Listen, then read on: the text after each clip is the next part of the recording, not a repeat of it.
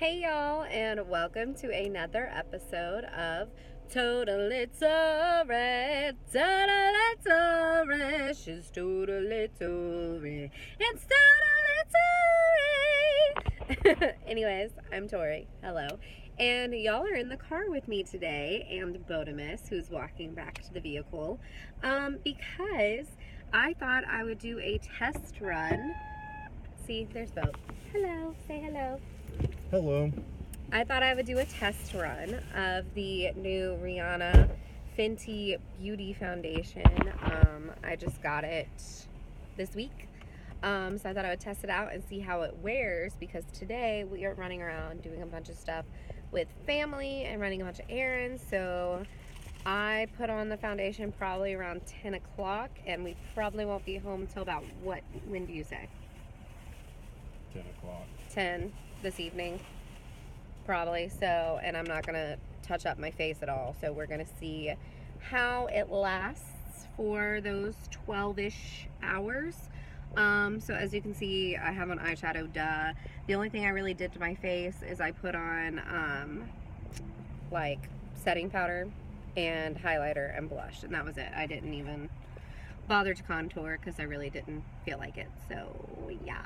But so I will update y'all later on throughout the day and I'll take some photos to show y'all how it looks and I'll let you know how it is and if it's worth the $34. Okay, so I already did my eyes. Um, y'all are at a weird angle. I'm so sorry. But I'm recording this on my phone since I'm going to be going out all day. So that way we can see how well it lasts. So, anyways, I got the Fenty Beauty. Yay! Um, and this is the Pro Filt'r Soft Matte Longwear Foundation. So it's the liquid foundation. This is the only thing I got. And it says to make sure you shake well. So I'm shaking well. Um, in my shade, we'll do a little better. Yeah. The shade that I ended up getting is 280. I think it's called Warm Peach 280. I don't know why my face looks so red this morning, but it does and it really doesn't in my mirror but on this it does so who knows?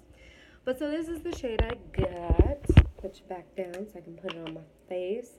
And I'll take um, before and after photos too like of me in actual natural light. So y'all can see what I'm talking about. And what it actually looks like. So it is it's a lot more um, liquidy than I thought it would be, which is, I mean, it's fine, but it is very liquidy. So just be prepared.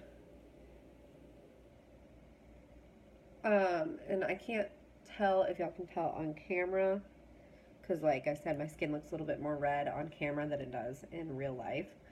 But this actually is a pretty close, pretty close to what my arms and neck look like when I have it blended. I mean, it's yellow, but I'm yellow, so there is that.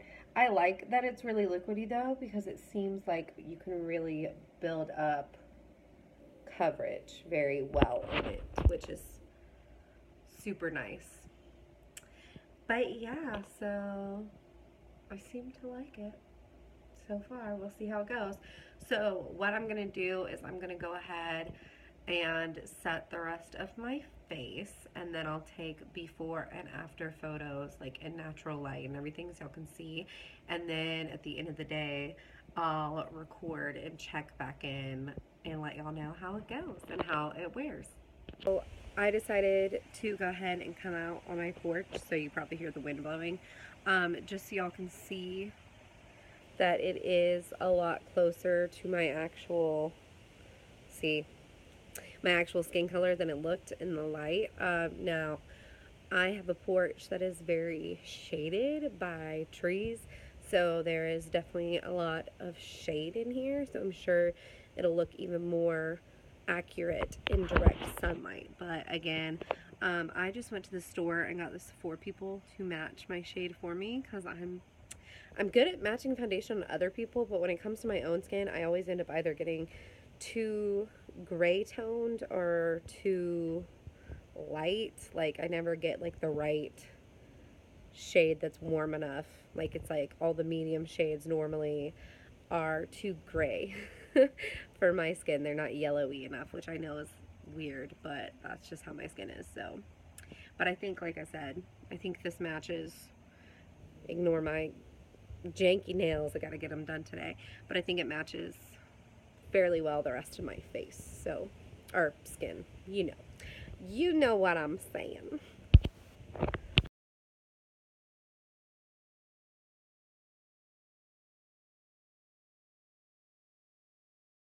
Okay, so I just got back home. I'm sitting in my room so you can see my photos and shoe collection. Um, I have been gone for 12 to 13 hours now. It's been that I've had this foundation on and haven't touched it up. Um, obviously, I'm a little bit shinier. I'm also sitting in my bedroom, so the light's not the greatest, but it's nighttime, so I can't really go outside for better lights. So there's that. But overall, I would have to say that I think the foundation held up fairly well. I'll bring it in.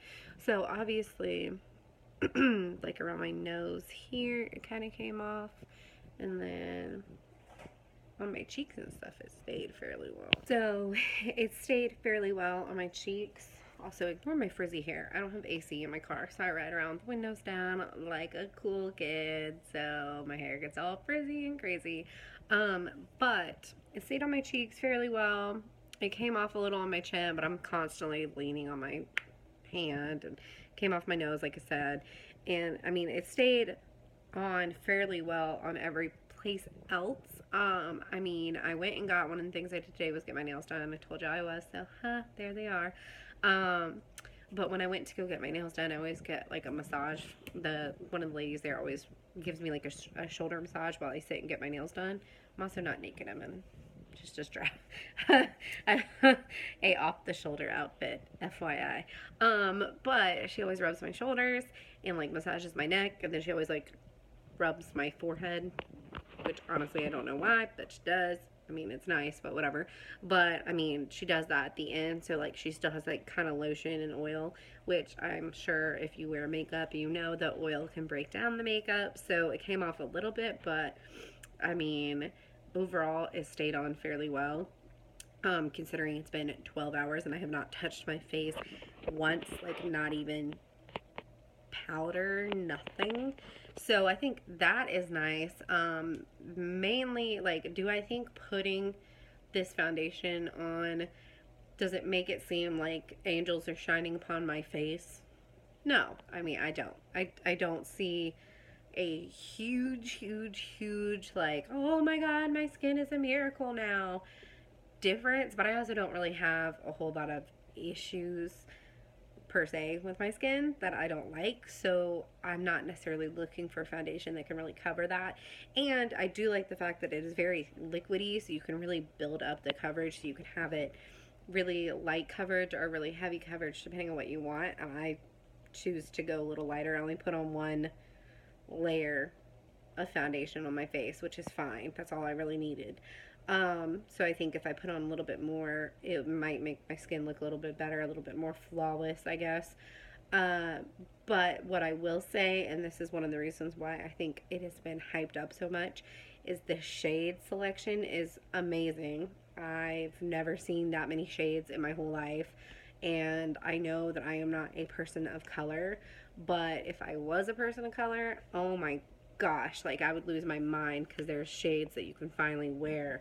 And so I get that that's why it's such a big deal because, like I said, even for me, um, not being a person of color, I still have issues finding shades that are my skin tone without me having to combine multiple foundations.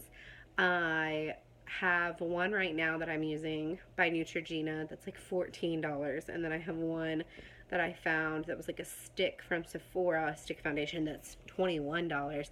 So, I mean, I'm paying a dollar more for two different foundations and I'm having to use way more product of than the uh, Fenty Beauty, which is only um, $34.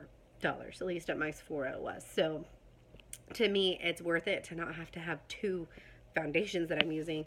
And it's nice to know that it really does match. And like, even when it oxidizes, it matched perfectly. And I know that in my earlier part of the video, it might not seem that way, but I promise you, when I stepped outside and I was looking at it in the mirror and stuff, it was like I didn't put any foundation down here and it matched perfectly to my chest, my shoulders, all of those things. So that's awesome because that doesn't normally happen. So I think that if you have a hard time finding a foundation that fits you, or if you're just trying to try like a higher end foundation, this is the first foundation that I've ever bought that's over like $22. Therefore, I mean, it really is my first high end name brand foundation that I've ever bought um, because I just thought it was worth the try. So if it's something that you want to try, I highly recommend it. It feels great on your skin. I didn't feel like it was too heavy or cakey and like I said you can really build up the coverage which is nice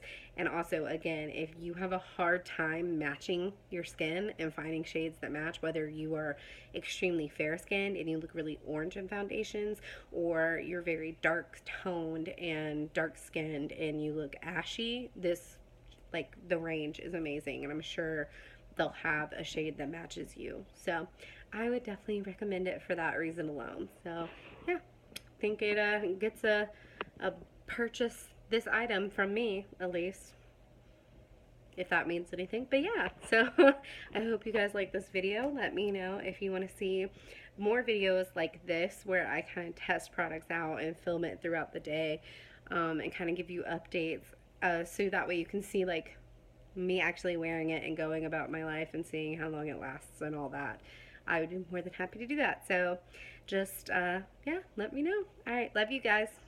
And I'll see you next time.